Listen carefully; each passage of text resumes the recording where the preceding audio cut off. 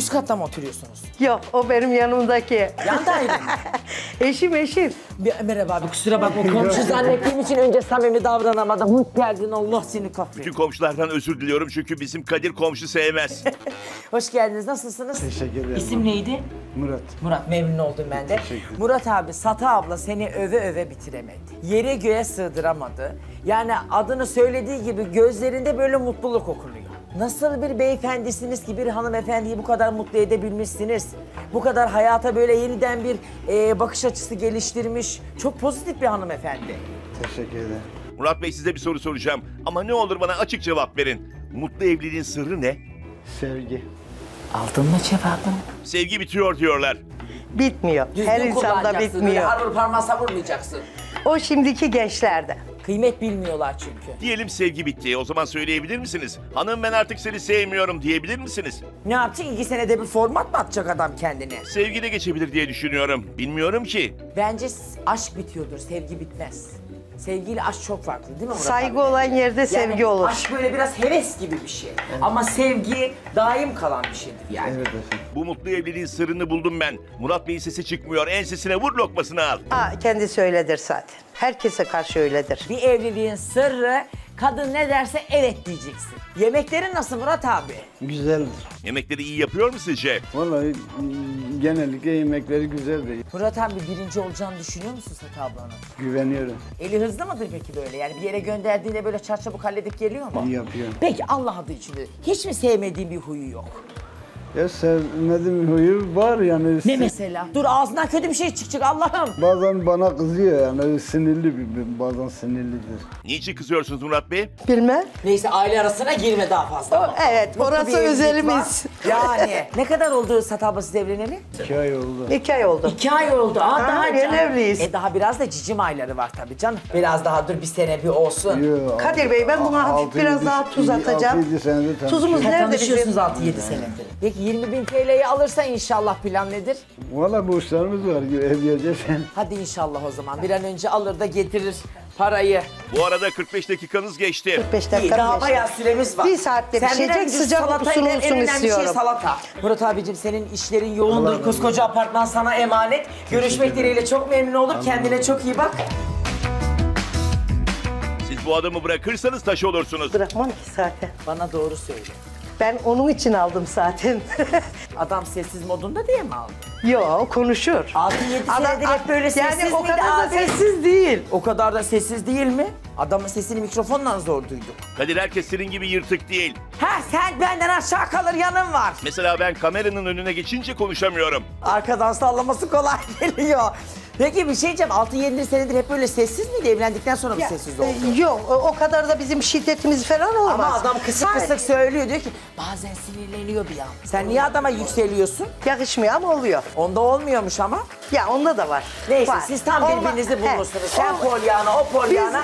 Biz Bak varız yarın bir ama sizi şöyle- ararlar telefonla. Şuraya borcunuz var, parayı çantayı şuraya getirin derler. Vallahi sen götürürsün. Kadir. Efendim? Gel bak sana ne anlatacağım. Kapattım altını. Seninle bir canlandırma yapacağız. Evde oturmuşum. Yemekler gaz yapmış sodamı içiyorum. Sen de eşimsin. Hadi beni sinirlendir. Geçen gün ablan aradı.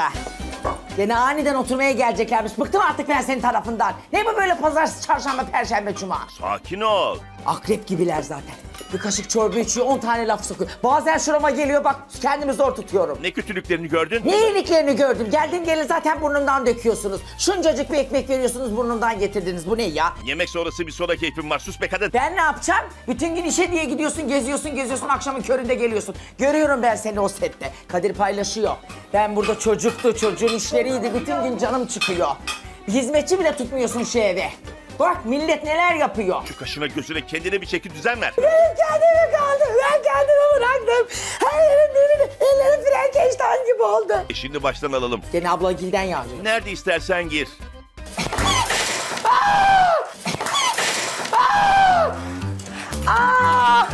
Ay. Vallahi yemek gitti. Ben adam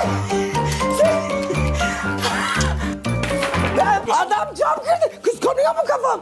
Abla kafam kanıyor mu? Yok yok. İyi de ağzını bile açmadım.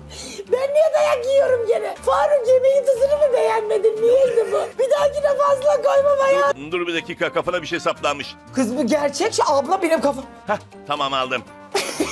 Sen de yani kız Esra adam bir şey diyeceğim camla kafama vurdu şu an ben Ay, şoktayım. evet ya. Hiç umurunda Ben değil. de şok Hala oldum. vanilya döküyor bunun içine. Çorbamı dibi al.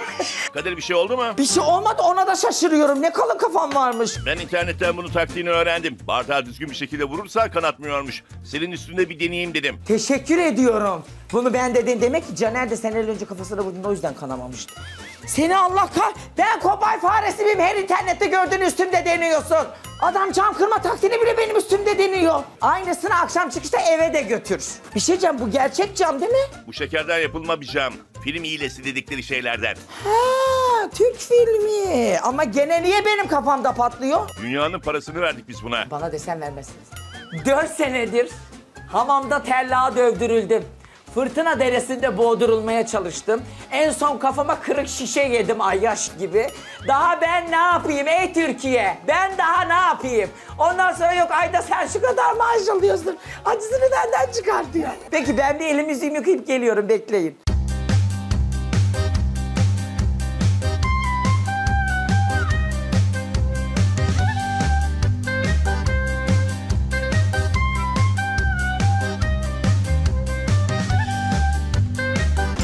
Abla bulgur pilavının malzemelerini de doğradım. Tamam.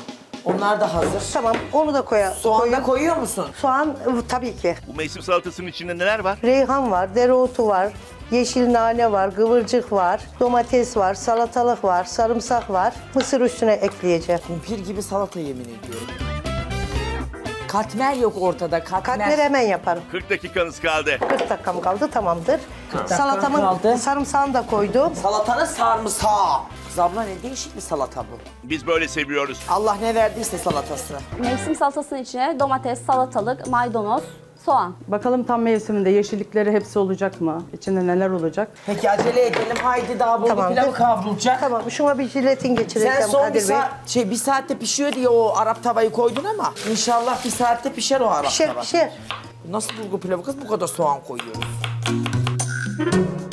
Ama lezzetli olur biliyor musun bol soğanla? Siz bu meyhane pilavını nasıl yapıyorsunuz? Soğanını halledeceğim tereyağıyla, margarinle. Biraz da sıvı yağ kullanıyorum. Biberini, soğanını koyacağım. Bulgurundan kavuş, kavuracağım. Salçasını koyup, suyunu koyup ağzını kapatacağım. Arap tavanın yanına meyhane pilavı uygun bir tercih olmamış. İkisi de çok renkli olacak. Meyhane pilavında da sebze var. Arap tavasında da sebze var. Keşke e, tokat usulü bulgur pilavı yapsaydı benim daha çok hoşuma giderdi. Satı Hanım masanız hala yok. Masam yok, evet. Sütaşlarımız kondu bir tas vereyim mi arttı? Ver. O sütlaçların üstünü halledeceğim Kadir Bey ben. Üstüne ek bina mı çıkacak? ne Ha, şey yapacağım. Ceviziyle şeyini koyacağım tarçınla. Koydun yağını, tereyağını koydun. Tereyağını koydum. Şimdi soğanlı koyacağım Kadir Bey. Şunları Ama bir Allah'tan ayarlayın. rica ediyorum, senden rica ediyorum kurban olduğum Allah'ın için. Şu ta tavayı koy ısınsın.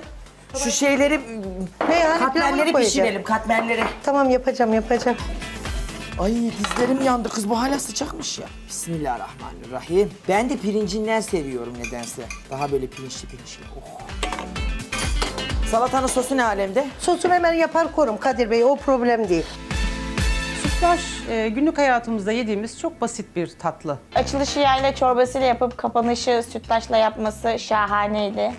Daha fazla video izlemek için kanalımıza abone olabilir. İlk izleyen olmak isterseniz bildirimleri açabilirsiniz.